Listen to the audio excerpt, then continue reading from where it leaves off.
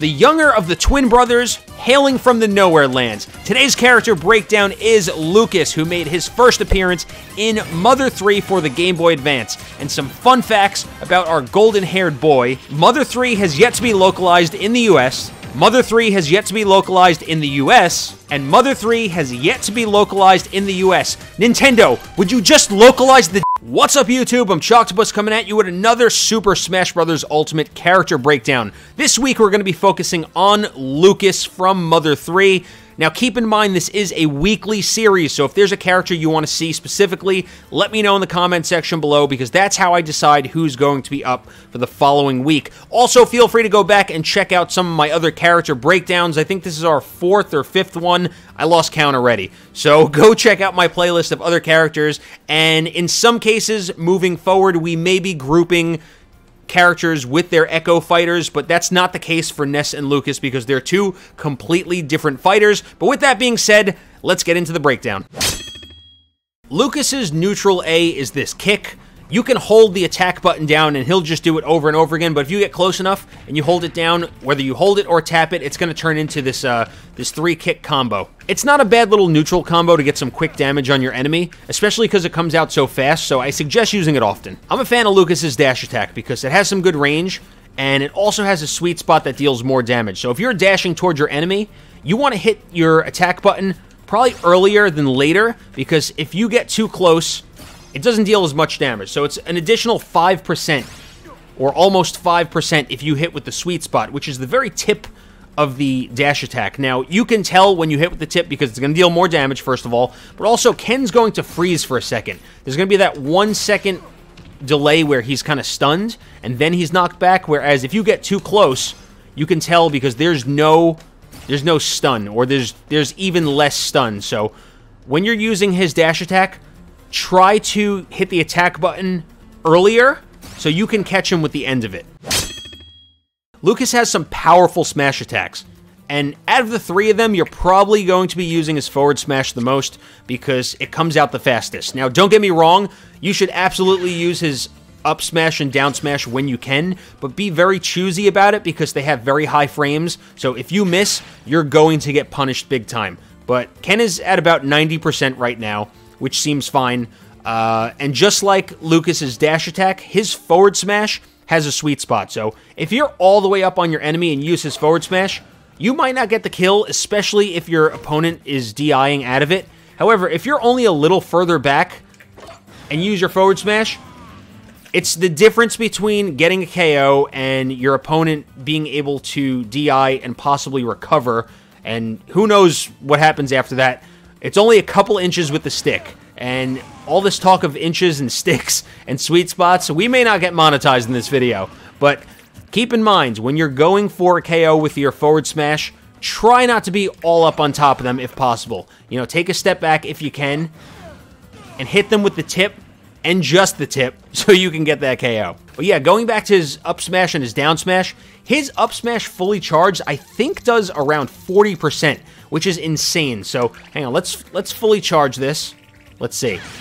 38.6%. If we use it quicker than that, 27. That's still incredibly strong. His down smash, 20%. Let's see. Let's go a little longer. Fully charged, it looks like 28%. Does that have a sweet spot? I don't know if it does. I don't think so. But you can get kills pretty low with these two smashes. So let's bring Ken to a... Let's go to 60. I think an up smash will... Yes. Oh, nope, maybe not. Maybe we go a little higher than that, let's go to 70. Thought we had him for a second. Almost. So it's it's getting there. Same goes for Lucas's down smash. You know, it is another smash attack that takes a lot of frames, but it has really good knockback and maybe not as much potential to kill as low as his up smash, but, you know, even at like 30%, you know, uh, at 30%, you can send your opponent pretty far.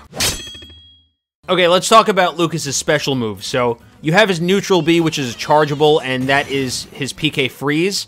Uh, his PK freeze is probably one of the best skills that he has for ledge guarding.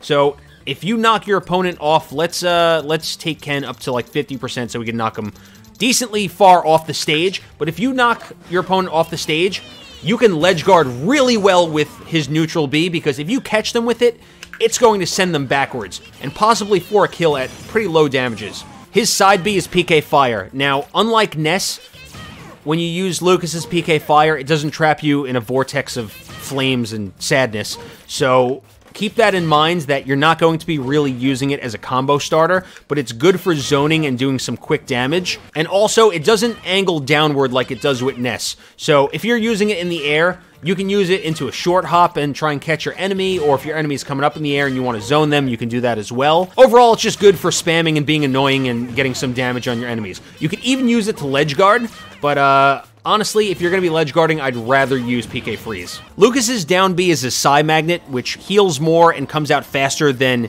Ness's down B, and you can use it to absorb either energy-based projectiles or small explosions and gain some quick health. So let's have Ken go to neutral specials. We'll take some damage here. Um, I don't know exactly how much it heals. I think it might be like 6%, so we're at 33% right now. So, yeah, it looks to be... Actually, it's like 11%, which is not bad. And you can hold it down, so if you're playing against someone who is spamming projectiles and they are energy-based, you can use it to heal up or to absorb them. Also, if you get close enough to your enemy, it will kind of pull them in because it is a magnet, and upon releasing, it does a little bit of damage. And by a little bit, I mean around 9%, so it's not bad to use, even up close. His up is PK Thunder. Now, just like Ness, you're able to control it. This is what you're going to be using to recover as well. His recovery is incredibly difficult because you do have to aim it, so if you're not good with it, I suggest practicing a lot. You know, jump off the stage in training, jump as far as you can, see what you can do, how far you can make it, and work on doing small circles to get Lucas back to the stage. It's like I said, it's going to take some practice because angles are everything here. If you are just a hair off with your angles, you're not going to make it back. You're going to end up self-destructing. Last but not least, it is a decent attack, so if you can pull it off and steer it into yourself to deal some damage to your opponent, you can do it, but honestly, Lucas has so many better options when it comes to racking up damage or confirming a KO than using his PK Thunder, because like I said, it's difficult to pull off. If you end up off the stage, you're done.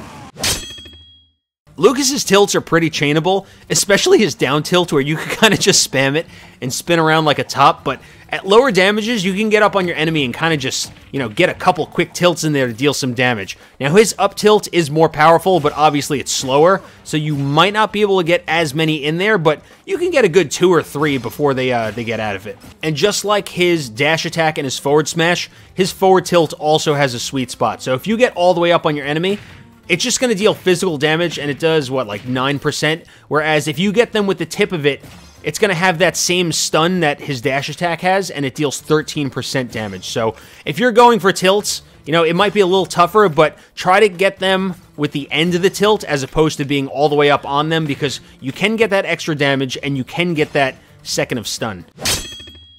Okay, let's talk about Lucas's air attacks because they're all really good. They come out fast. Some of them are multi-hit. They have low landing lag, so you're going to be using them a lot. Now, his neutral air is this spin attack. You can short hop into it. Uh, it's not what I would be starting combos with. I think it's better mid combo.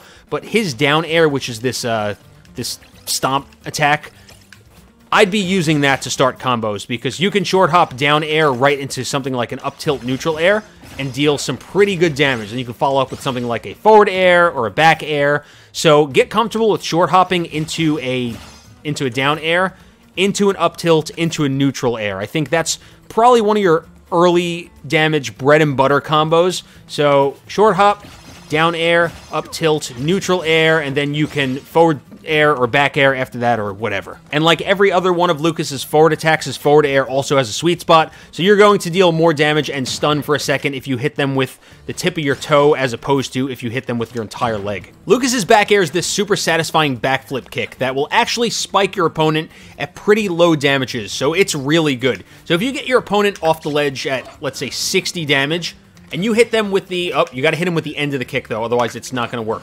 And you pivot, hit them with the back air. If we can hit Ken, come on Ken. Don't make me look bad in my own video. One eternity later. There you go. So around what, like 56 damage, you were able to to spike him. Yeah, if you want to get really good at it, you know, work on running into a pivot into a short hop back air because that's what you're probably going to be using as they're recovering. You know, you can even, in some cases, catch them at the end of the ledge as they're recovering, so you don't even have to jump off the stage. You can pivot and catch them right here. Last up, we have Lucas's grab, which is this tether grab with his snake. It has good range to it, so you can grab from pretty far away. Um, also, you can use it to catch the ledge. So if you're in a if you're in trouble and you're not as good with his up B, you can use his snake to grab the ledge. However, you do have to be facing the right way. Otherwise, he's not going to turn and grab it. So if you're facing the wrong way, don't even try it because you're going to end up falling off the edge. Better to give the uh, the up B a go. But if you're facing the right way, you know, all the way from back here, you can use his tether grab, grab the ledge, and recover. Okay, you have his down throw, which actually buries for a second before it knocks them up. You have his up throw, you have his forward throw, and then you have his back throw. Let's bring Ken back down to 0%. His down throw combos really well early into things like his uh, his neutral air or his forward air. However, like I said, you're probably going to be starting most combos with his down air because I just think it's better out of the short hop. But don't be afraid to try different things. You know, you can use his down air. Uh, his up air is pretty good into up, or his up throw is good into up air, I should say. So you can use that as well. I don't think that's his best, but it's not bad. I personally like his back throw because I think his back throw, even at low damages, has some pretty good range. And you can set up into a running short hop into another combo.